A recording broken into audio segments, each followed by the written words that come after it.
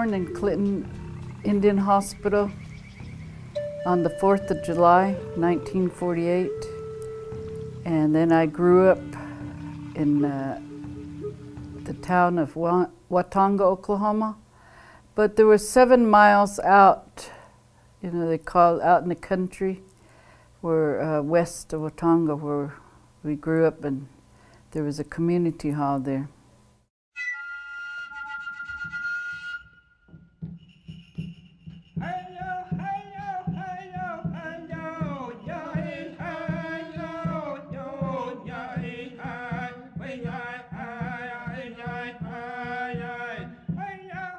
Second to the youngest.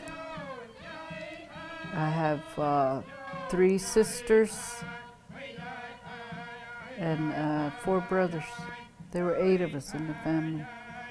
And they were, um, my father's had his children and my mother. And then here was, um, so I had stepbrothers and sisters. Blended family, they call it. My father's Northern Cheyenne and Northern Rapo. His mother's Northern Rapo and his father's Northern Cheyenne. And then I was always curious, you know, well, here's my mother, Southern Cheyenne, here's my father, Northern Cheyenne and Northern Rapo. And here I am, I got enrolled under my mother as here it says Cheyenne Rapo. It was in the Library of Congress that uh, take these Indians, the Cheyenne, to to the reservation. If if they don't, if they resist, kill them, exterminate them. I, I was so touched by it, and I said, "But still, I'm here. I'm still here. My people still here." The story I heard uh, was that they, uh, 130 of them, and the leaders was Dull Knife and Little Wolf and North Woman. And that they, uh, someone had said that the soldiers said, you know, they, they were surrounded by soldiers. And they said, oh, let them, let them get so far, let them think that they're really escaping. And then we'll go after them. That, that really touched me, you know. And to know that they actually made it under such conditions, you know, many outnumbered by soldiers, equipment, uh, even the bull, um, um, the guns. They made it. How did they make it? And even the stories that I heard as this began to unfold was, oh, there was ceremonial people on the way. They, they um, made medicine and they um, performed miracles. They used the elements like one, one said that um, they used the fog. The fog got in between them and the soldiers. And then another one said uh, they used the animal trails to disguise their tracks. I mean, it's so beautiful, you know, nature and uh, Cheyenne, and and they used um, how they used the land, how they used the animals, and the buffalo. They had buffalo robes, and they disguised themselves as buffalo. And the soldiers passed them up. Didn't even see them. And heard there was uh, the ones that stayed behind. They they had ceremonies that they would make it. And I really believed that. I said this had to be through ceremonies and prayers That's why the Cheyenne's still here, Arapahoes. We're still here today because of the ceremonies and the prayer.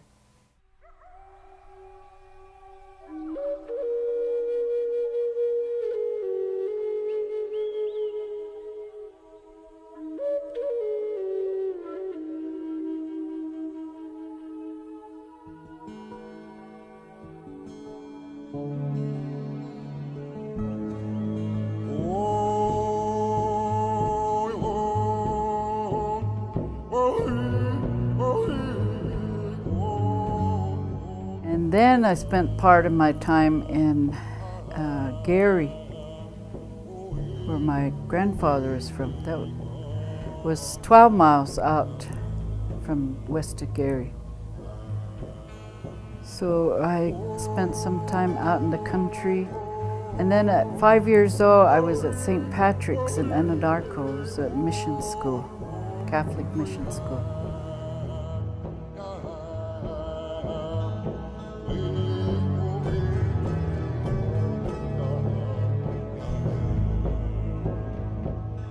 My work um, is about brokenness. And uh, my people, as a Cheyenne woman, I come from uh, my own experience from broken brokenness. And my message is the uh, genocide the Cheyennes went through and uh, many um,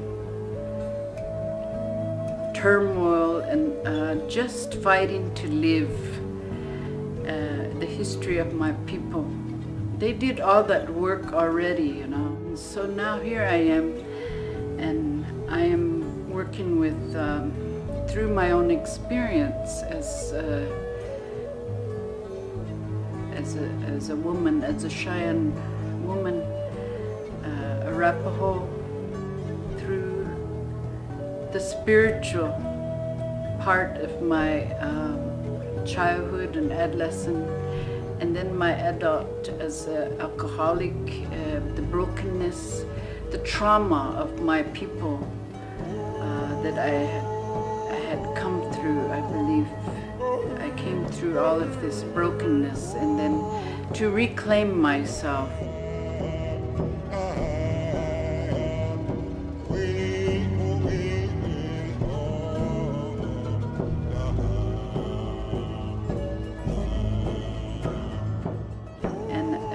First time, you know, the animals are coming to, to a Global Grandmothers Gathering. And they're the horses, they're rescue horses. And it is very touching to my heart that, um, that somehow um, the animals, you know, the horse whisper is bringing them rescue horses. And uh, it has a lot of uh, uh, explaining and expression to do for, our life, life, sacred life here, the life uh, path and to come to the uh, Northern Cheyenne Reservation to uh, commemorate the Cheyenne escape in 1868 when they took all the Cheyennes to, to the Indian Territory in Oklahoma. And they escaped and made it back their birthplace where I live now. And it is a very beautiful unfolding that is coming to be. So we grew up here and then we would go back and forth uh, traveling uh, to see my other grandparents in Wyoming, my father's parents, and then in Montana, Lame Deer, Montana, and then uh, Arapaho, Wyoming. When I was 12 years old, I was uh, called to be in the Kit Fox, one of the sacred um, women, girls in Kit Fox Clan. In 1950, I think. And I was 12. And then um, when I went to boarding school here at Concho, and then I graduated from eighth grade. Then I went to uh, Chilocco. Graduated from high school from there. Uh, we had to be um, tell the superintendent at after high school what if we're going to college, if we're going to go to trade school. We had to have a plan and accept it. So I got accepted in uh, Albuquerque nursing school. And I married my, um, my husband, was Coach de Pueblo. In between those times, we were very traditional family. So Native American church was my mother's, my grandfather. So I come from, I'm third generation from that Native American church. And when um, they established it, and it was, it was very important to my mother and my grandfather and his brothers and his, his uh, family, you know, and how we how the uh, that movement was. My mother even went to jail. My she's my grandfather. They they all went to jail for that religion they call it. So I saw that from my mother side, and um, today I still practice that.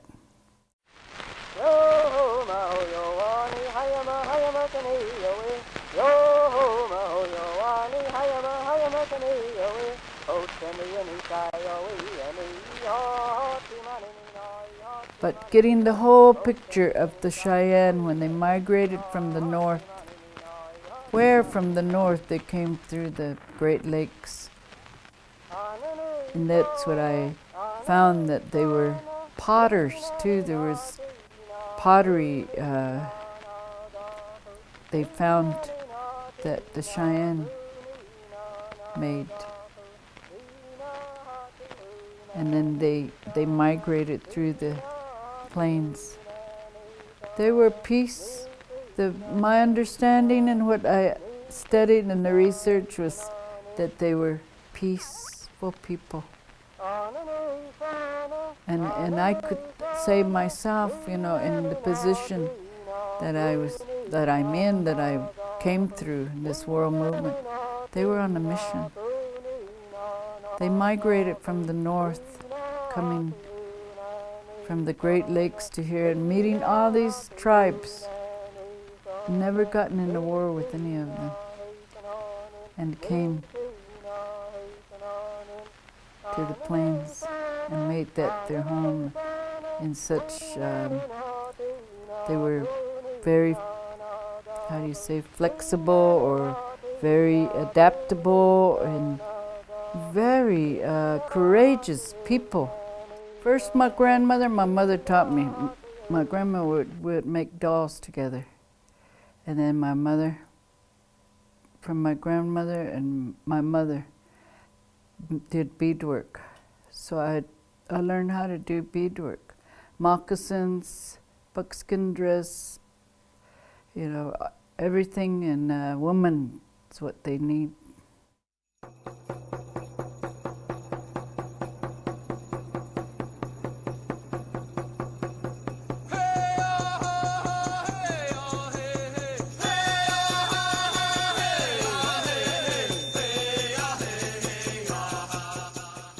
My uh, mother-in-law saw me making a pair of moccasins, all beaded. She, she saw me how I would do beadwork and how I would sell it to pay some of our bills. And, and I think she pitied me, felt sorry for me. She, she showed me, she gave it to me, you know, like a little ceremony. She took me to the mountain and she said, here's the clay you pray over it and you use it, you find your own texture.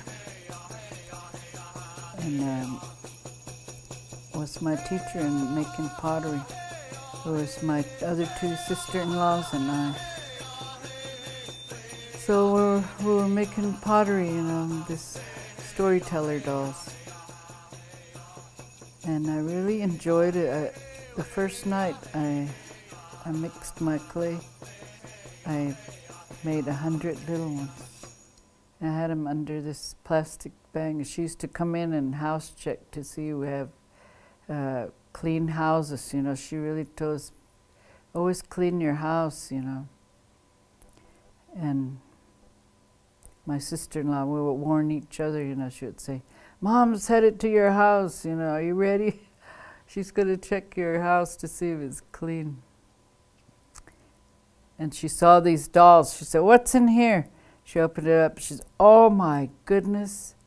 It's like I just took off and made all these dolls, little miniature. And she grabbed my hand. She said, You got magic hands, she said. So I started, and it was very um, therapeutic for me because it was very difficult during that time having three children, alcoholic husband, you know, and I made I made a living like I was a single parent, you know.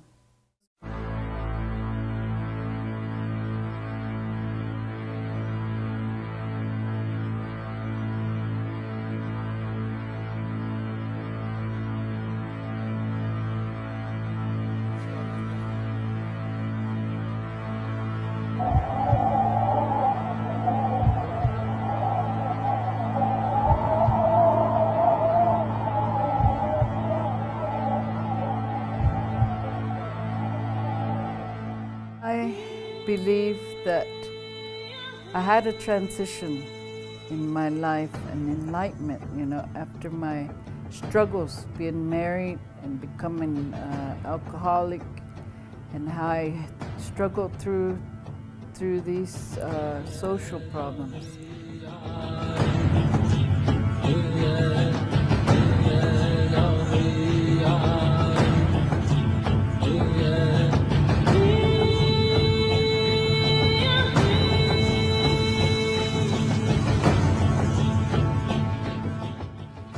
I became um, a substance abuse, you know, counselor.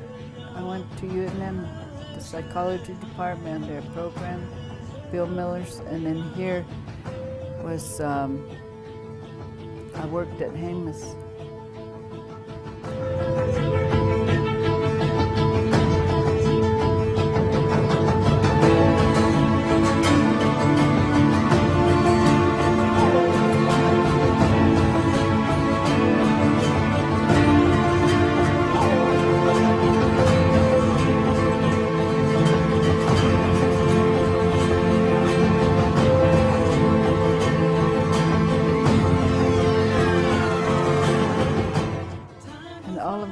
Of a sudden, I just came to me. I'm moving to Montana to find my father's people, family. You know, his go to uh, Montana. So it was like in November, and my boss he said, "We need you here." You know, I said, "No, I made I made up my mind. I'm going." And I was in recovery, you know, for a few years and my whole life changed and I was finding myself putting everything in order. You know, I had already um, made amends with my husband, my children, it was an empty nest and and I came through um, alcoholism, got sober, and I was like, in a very special place in my life. Enlightenment, I guess they call it, transition, something happened to me. I can't really explain it.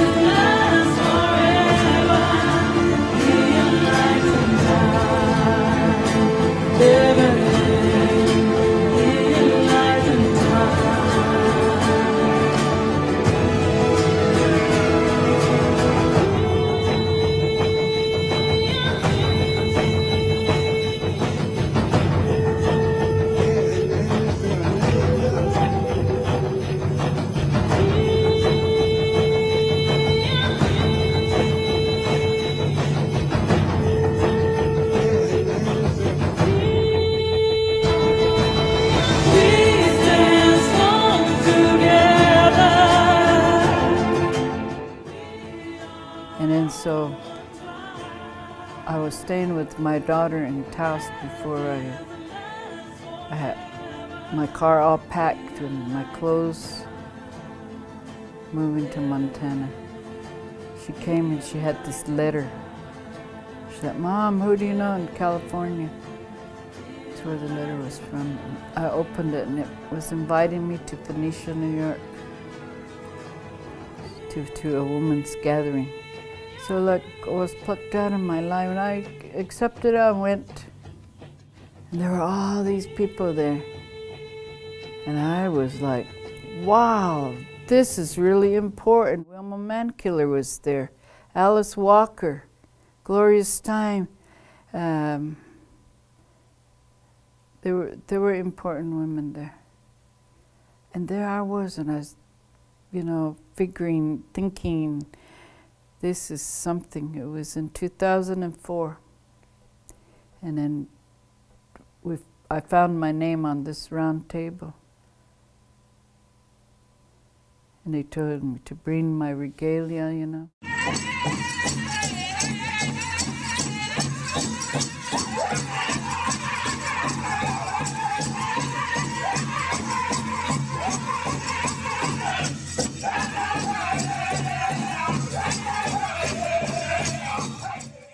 And then I saw I saw the other women, the twelve women, somewhere in their regalia and somewhere just in regular street clothes.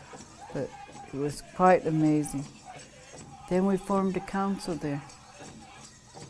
And our mission statement world peace, healing Mother Earth and her inhabitants. Oh, I was just excited about that. I said, I get to be a part of this movement, work. I didn't know anything. I was like green as it, but I was going, I was willing to. Then we started our next council as we we decided to become a council. We decided to go to each grandmother's home, home place, homeland, to have council. So we started this, uh, Flordemayo was my own grandma. She was living in um, New Mexico. We went to Milwaukee, had our first council, then Mexico, then in Dharamsala, India, and then we went to uh, here in uh, Black Hills, and then to uh, Lincoln City, Oregon. Then we went to Japan. In between, we got invitations. I got invitations to go to um, Australia, Sweden. A lot of times I couldn't believe that I was doing this. I couldn't believe I was meeting people in the world that were so concerned about our condition.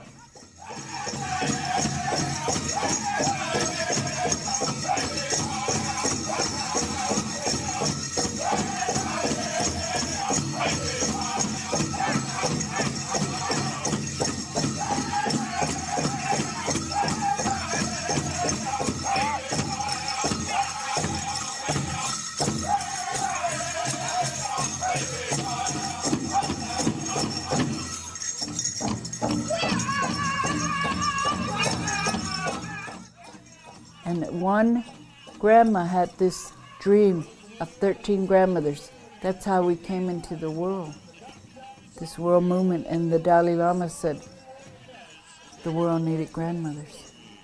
And so here we were in the new millennium. You know, is this all by accident? Is this coincidental?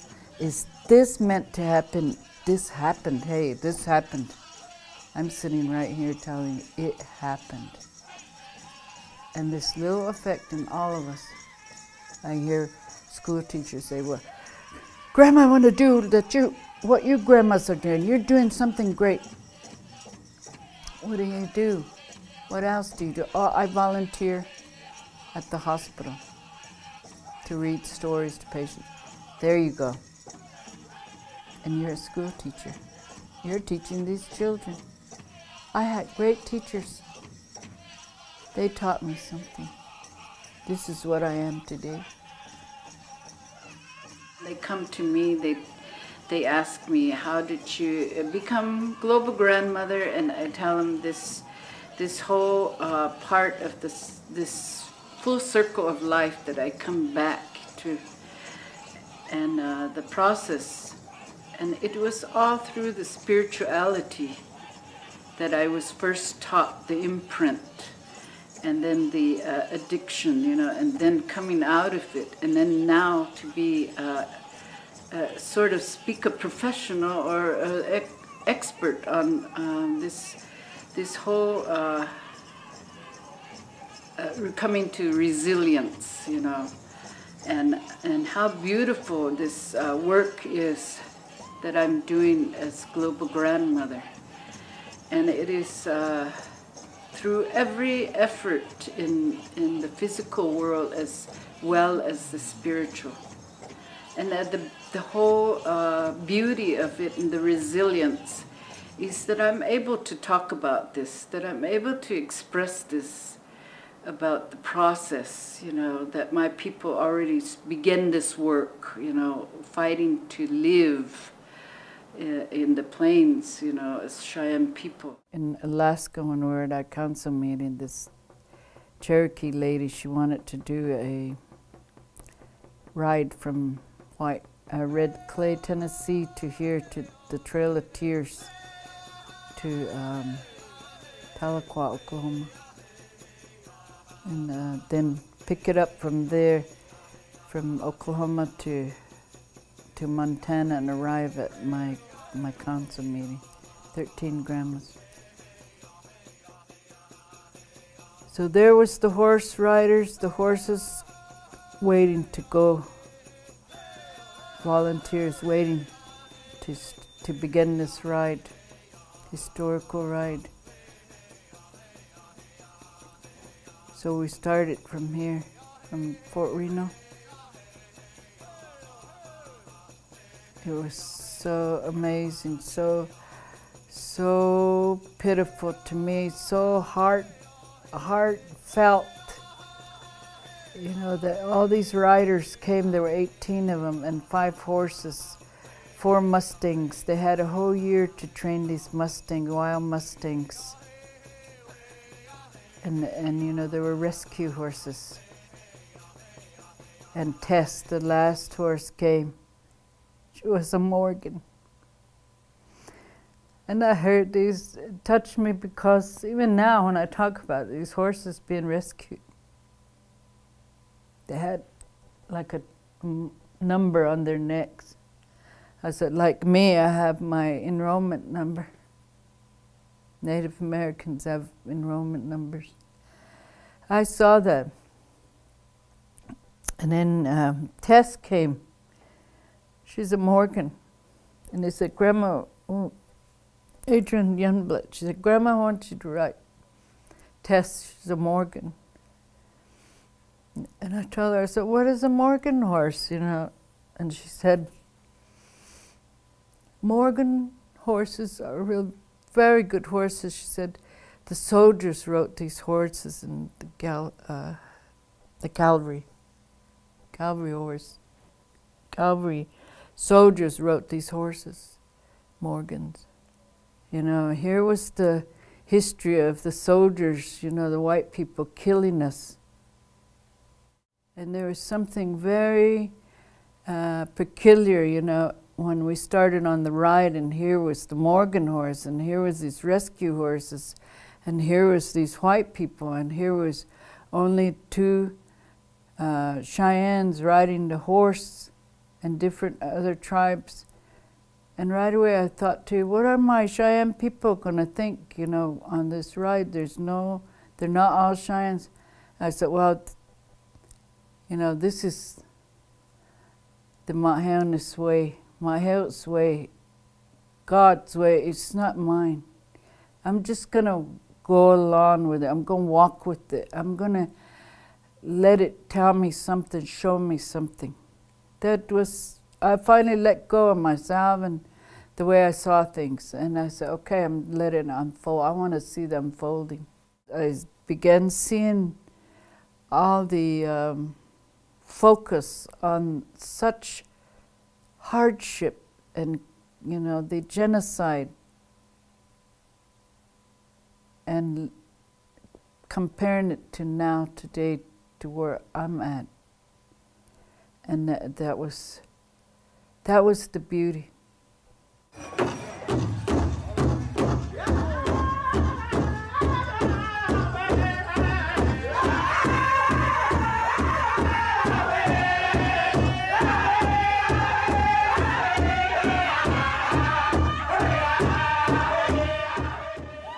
I work with a lot of young people and wanting them to really uh, experience the, their the life, you know, and, and I really believe that their young people are really going to save themselves, you know. Uh, they are really uh, a generation that are um, asking questions, you know, and finding the answers.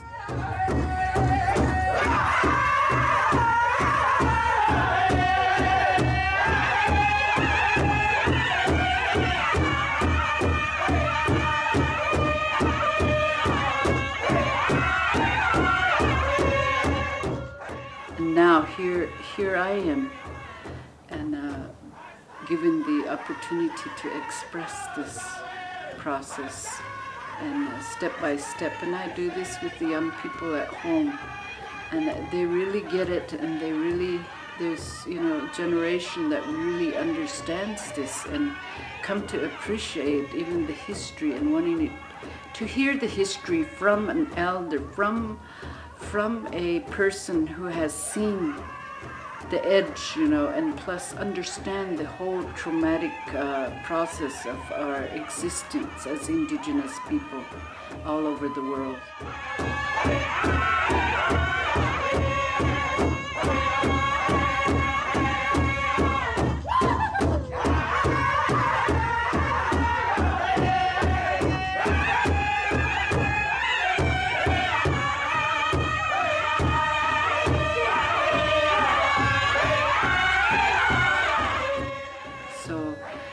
This is my understanding, uh, my purpose, and seeing uh, what they call full circle, the full circle, and uh, using this as the uh, the vision of of living uh, a well, full life in the in the spiritual sense.